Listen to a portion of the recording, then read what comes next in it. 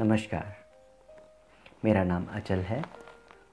इस वीडियो में मैं आपको बताऊँगा लुइस हे के अकॉर्डिंग अपने आप से प्यार करने का दूसरा सबसे ज़रूरी तरीका।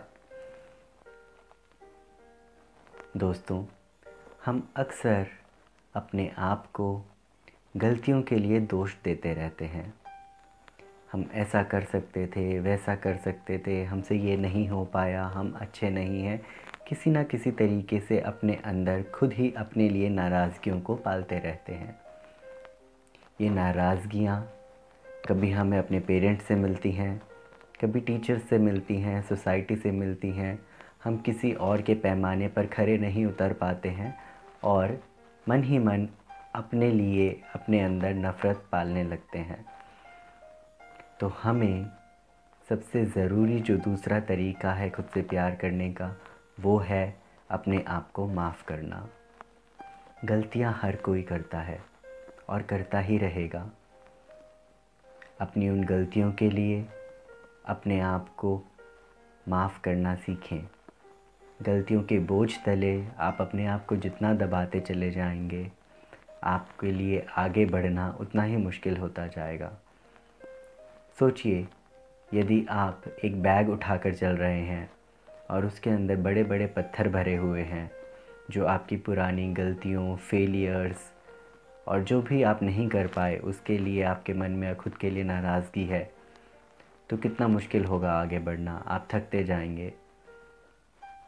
मैं चाहूँगा कि आप इसी समय एक नोट पैड लें, पेन लें और लिखें।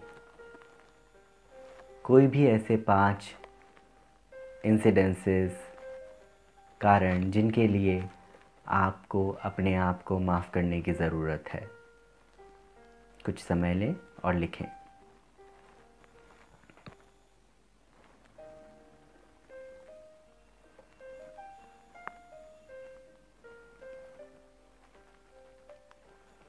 यदि आपने ये लिस्ट बना ली है तो अब आपको अगला काम ये करना है कि एक एक कारण को लेकर मन ही मन ये सकारात्मक विचार को दोहराना है।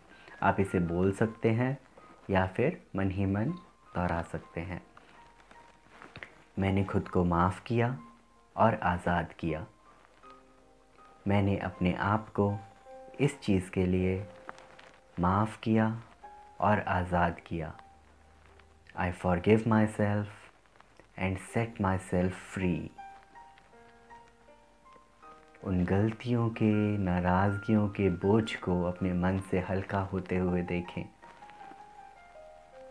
बार बार इस सकारात्मक विचार को दोहराते जाएँ। मैंने खुद को माफ़ किया और आज़ाद किया। मैंने खुद को इस चीज़ के लिए माफ़ किया और आगे बढ़ने के लिए आज़ाद किया। गहरी सांस लेते हुए ये सकारात्मक विचार दोहराते जाएँ। महसूस करें कि आपको इस समय कैसा लग रहा है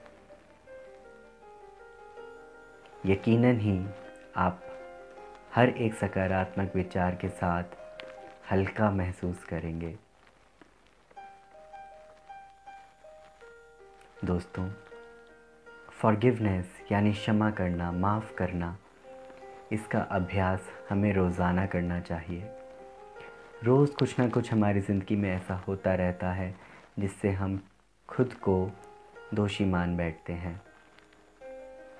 सोने से पहले रोज़ाना खुद को आज़ाद करने का अभ्यास करें, माफ़ करने का अभ्यास करें, हल्का महसूस करें और एक नए उमंग भरे अगले दिन के लिए हल्का महसूस करें। धन्यवाद।